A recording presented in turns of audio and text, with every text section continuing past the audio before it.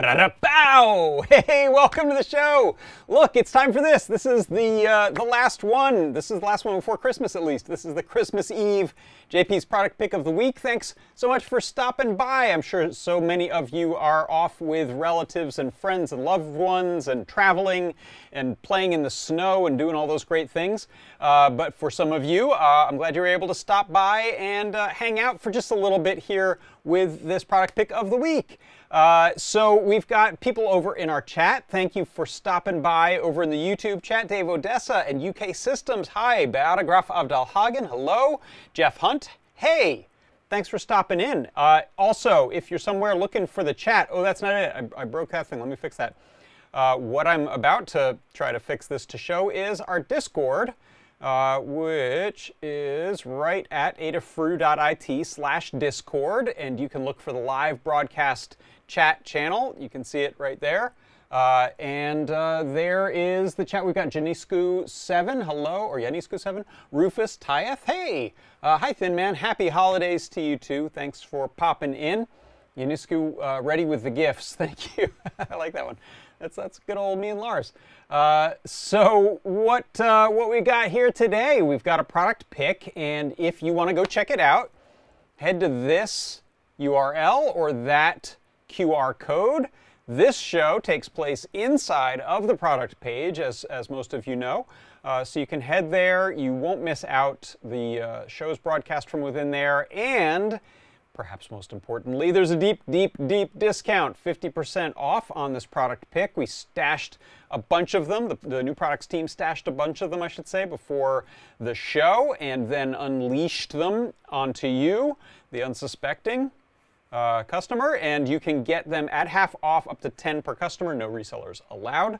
Uh, so go check that out. Go to that URL and uh, you'll see what it is. But if you like to follow custom, as I like to here, before I say word one about this product pick, we'll have Lady Ada go back just a little bit in time and tell us all about it. So please take it away, Lady Ada is the INA 3221. Uh, finally finished this board. I've been working on it on and off for a couple of years, but I finally decided to wrap it. Um, so this is kind of like an INA 219 um, times three square. It's like a triple decker. So this allows, this is an I squared C sensor, so you control and read it over I squared C with your microcontroller or Raspberry Pi, Arduino or CircuitPython. And you can read up to three DC voltages up to 26 volts, and you can measure the voltage as well as the amount of current that is being drawn. So you use the terminal blocks on the end. So you can select like mm-hmm. this one. Um, so there's terminal blocks. You see there's like plus and minus. So you can connect either to the high side or the low side. Most people want to do high side, so the grounds are all shared. Um, you connect your three measurements to the plus terminal block, and then you connect the load to the negative and then you can measure um, positive or negative 3.2 something amps of current, um, 1% precision, 13 bit accuracy. I'm sorry, 1% accuracy, 13 bit precision. Um, so it can do, you know, up to as little as like 0.5 milliamps or so, um, and up to 3.2 amps and uh, you get like you can set up warn and critical and valid interrupts so it tells you like when your current draw is, is going over some predefined limit that you set in the i squared c driver. Um, basically just great if you if you are measuring multiple voltages and currents uh, you know you're doing like photovoltaic projects or battery charging or you know motor control stuff and you want to do very fast power uh, measurements. Um, the INA 3221 is great. One thing is, you know, it doesn't have a FIFO and it doesn't do like power summation. I think the INA 228 does that. So this is a little bit of a simpler one. It's really a lot like the INA 219. Um, very, very similar, but just three of them. So um, I'm using this for a project, and I was using a project where I had to measure 12 volt, 5 volt, and 3 volt power supplies all at the same time. So I thought it would be handy to make a breakout board for this really good power supply, and no soldering is required. You just use your terminal blocks, STEMMA QT for I squared C, and you're ready to go.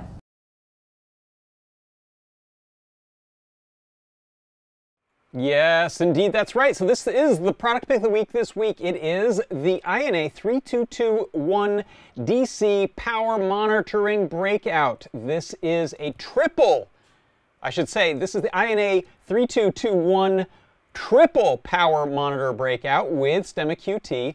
This allows you to measure up to 26 volts DC, up to about 3.2 amps, and you can measure three different devices at once. It's a high side or low side, and you can get away with zero soldering, just use StemmaQT slash Qwiic cables, or you can solder into the little pads at the bottom and get all, uh, all pins broken out. But very conveniently, you can use these little terminals, these little screw terminal blocks here to plug in. I'll show you a demo in a moment of how that works. Uh, but before I do, let's take a look at the product page. Uh, sorry, apologies, I think, oh no, okay, it's fine. My thumbnail made it look like that was going to be broken, but it wasn't broken, yay. Uh, so there it is. You can see it is a 50% uh, off during the show right now, just until uh, about a half hour from now, and then that's going to go back up to the full price. So instead of $10.95, you get it for $5.48 right now. So if you've got some power monitoring projects, maybe pick up uh, one or two and maybe some Stemma QT cables. Uh, this has a link here to the Learn Guide. So if you click on here, you can see nice Learn Guide that Liz put together with some great close-up photos there. You can see we've got the breakouts for I squared C on the Stemma QT on the sides. You've got the three different terminal blocks at the top. And then all of that is broken out down at the bottom there, uh, plus a couple of extras. And you can see a nice uh, shot of the backside there. It uh, has some further info on pinouts on the next page here. So this will show you the different power pins you can use to run it, uh, the logic pins for I square C, and then the input channels there for measuring uh, voltage on, or current really, on, on the three different blocks. Uh, you can also use an interrupt pin uh, if you want to do any kind of measurement of uh, thresholds and have an alarm of some kind go off or interrupt something. Uh, you can use those pins. Uh, there is also a I square C jumper on the bottom that lets you go either from the default address of 40 or you can uh, solder the jumper closed and use 41. So you can get away with a couple of these on the same bus without any any uh, multiplexing of I square C necessary. And then if you take a look here at the uh, CircuitPython page or the Arduino page, you see we've got libraries for both of those. Uh, these are great to have. I recommend those. You'll see in my demo in a second. I've used a bunch of these to connect up my different supplies and, uh, and loads. So this will give you an idea of wiring here. Uh, if you take a look at this one, this will show we're using Stemma QT cable to connect up to a feather. Uh, and then we've got a power supply coming in, and that goes to the plus side on the first channel terminal block. Then we're sharing ground between uh, that and the load side, and then the load is connected over to uh, the negative side of that first channel. So you can do three of those, which uh, is what I've done in my demo. Take a look at that. And then we've got a really nice simple setup here in CircuitPython. You just want to install this library right here, CircuitPython INA 3221. Uh, or Adafruit INA 3221 if you're doing that on a microcontroller and not on Blinka, but you can use this on your uh, Raspberry Pi or other Blinka capable machine using Python. Uh, similar setup for Arduino. And then we also have a downloads page where you can go and check out the data sheet on the chip. Uh, one thing that's come up a couple times, this is essentially a triple version of the INA 219. So if you've used that single board, this will be real familiar. The library looks pretty much the same. Uh, and let's, uh, in fact, take a look at that. Let me switch over here to uh, this view of the world. So I'm going to grab my uh, Sublime text here real quick. Let's see if I can get that running up, up and running again. Are you connected? Should be. Oh, I'm not printing anything, so that won't matter. Yeah, I'm, I'm putting it all on the display here. Uh, so let's talk about what I've got here. I have a feather, and then plugged into that is the INA 3221 right there. And then you can see I have three sets of power supplies and loads running into those. So the first one here, I have power supply and a little uh, LED strip. Next, I'm running an old Arduino Uno off of uh, this one, and then last I have a little fan over here to the side. And if you look at the, the screen there, you can see, oh, that's also my little uh, festive reindeer fingernail applique. Uh, you can see here we've got a listing for each of those three channels of voltage and the current being used. So if you take a look at, uh, let's say the fan over here, so that is running on uh, the first channel. This is channel one, these go right to left. Uh, you see here right now it's got a draw of about 0.112 milliamps. I'm going to go ahead and switch off the fan and you'll see that drop down uh, should get to zero. Uh, and then same with the others here. So if I turn off the supply going into this Arduino, you'll see the draw and the voltage are dropping on that back down to about zero. And then I can kick that back up uh, and you'll see now the voltage going up as well as the current draw. I'll turn my fan back on here. Uh, and then this one, uh, if I turn off the supply going into the light there, that's going to drop drop, drop, drop, kick that back up. On slot 3, you'll see the voltage and current going back up to about 0.6 milliamps, so not, not a ton of draw on that. Uh, so that's how you can uh, run this. The uh, library, if you look in my code window here, is imported, so INA 3221. Uh, and then I'm setting up that to run on I2C as the INA is what I've named it. And then we have some display stuff just to give us this uh, TFT readout. And then in the main uh, loop here, I'm just checking the INA.bus voltage for channel 0 and the current amps for channel 0, and then repeating that for channel 1 and for channel 2. You can also check out shunt voltage if you want, but I wasn't uh, going to fit that on there, so I didn't, didn't uh, put that on. So that's how easy it is. You just ask for the name of the device and then channel 0, 1, or 2, and then print out or use however you want, bus voltage and current amps, and that will print those uh, to the screen in this case or to a serial window. You can plot them on a graph or use them however you want. Uh, so let's see that, uh, that's pretty much how easy it is to use. And uh, let me know if you have any questions about that in the chat.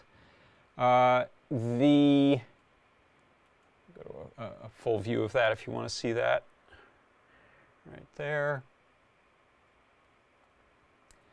Uh, one question in the chat, I actually don't know the answer to this, uh, maybe someone does. Rufus says it looks like it's actually got twice the resolution of the INA 219, so 0.4 milliamp versus 0.8 milliamp. Um, I won't check that now, but if you check that data sheet, uh, and probably Rufus already has, uh, that should let you know the resolution that you have to work with, uh, which may be useful depending on, on your needs if that's true, and, uh, and you have to get really fine grained performance from, uh, from your power monitoring. Uh, all right, so before I go, again, I'll remind you, head to that URL right there, 6062, and you can pick these up for half price just today, just for the next 10 minutes or so, uh, and then the price will go back up.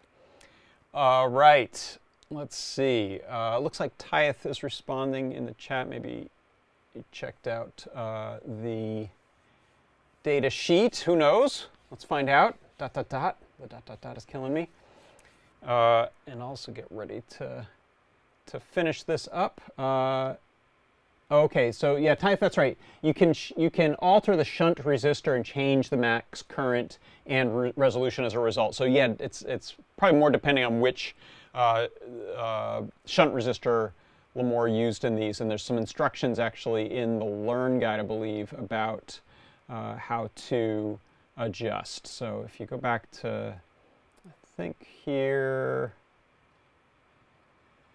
uh, in pinout, or maybe she just mentioned it uh, and I was tuning out. Yeah, I think she mentioned it in the uh, uh, the video there. But yeah, you can you can change out uh, a resistor to adjust the granularity there for your uh, for your current sensing. All right, uh, I think that is going to do it for us. So. That right there is my product pick of the week this week. It is the INA 3221 triple current sensing power monitor with STEMMA QT. And uh, that is going to do it for the product picks of the week for the year. So thank you all so much for stopping by. Excuse me. I uh, hope you have a really fun holidays. If you're taking some time off or if you're uh, celebrating, let uh, let's have a let's have a good time. Uh, thanks everyone, and I will see you next time. For Adafruit Industries, I'm John Park. This has been JP's product pick of the week. Bye bye.